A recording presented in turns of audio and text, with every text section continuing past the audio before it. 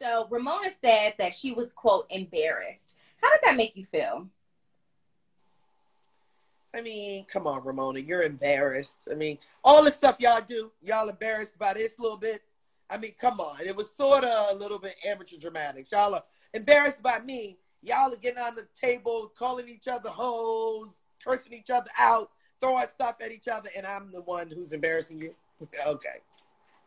Exactly, which was very interesting. But again, I think it's the whole like, uh, I can talk about my family. Nobody else can talk about my family. Type. I think that's it. I think that's it. I think that's it. Because come on, you know that whole thing. Everyone was saying, well, Leah called them hoes, hoes, hoes, hoes, hoes. And when I do it, you're like, I mean, why would you call her a hoe? I'm like, come on now, y'all. Stop it.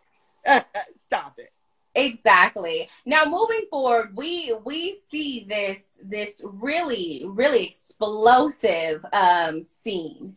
And this is supposed to happen in the next episode and I know you can't tell too much, but I do want to ask, do you fight? Do, do I fight? You, do you physically fight? Girl, it's editing. Yeah, I can't. Okay. Right. It's editing. Now, First of all, I'm never putting my hands on anyone. Uh, come on, like let's be clear. This watch the show. It's good. It's good. It's good. I'm never. But I mean, come on. But you know what? Look, I like. Believe it or not, I love Sonja. She's funny as hell. I really do like Sonja.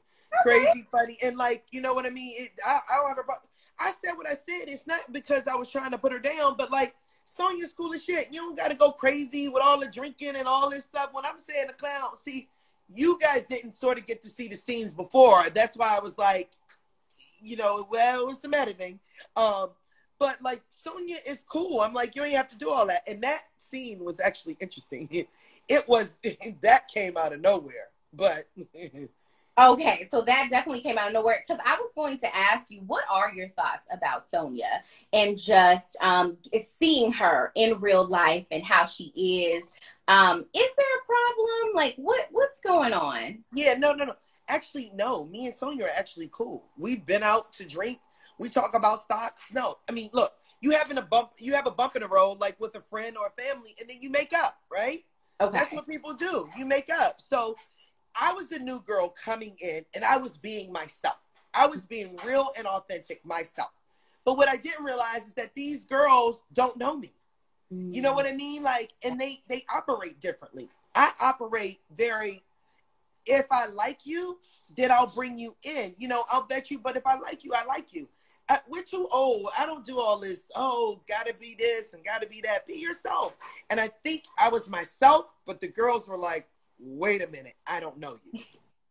That's what happened. Yeah, yeah. And I'm sure they didn't know your inside jokes or when you would say that to anybody, like, oh, this is boring. Oh, you know what I mean? They took it in a different way. And you were just like, oh, I didn't even know that was a, a trigger word or I didn't even know. Exactly. Because when my friends heard it, they just started laughing. They were like, you say that all the time. Like, I say it all the time. So it was sort of funny that it blew up and they took it so offensively.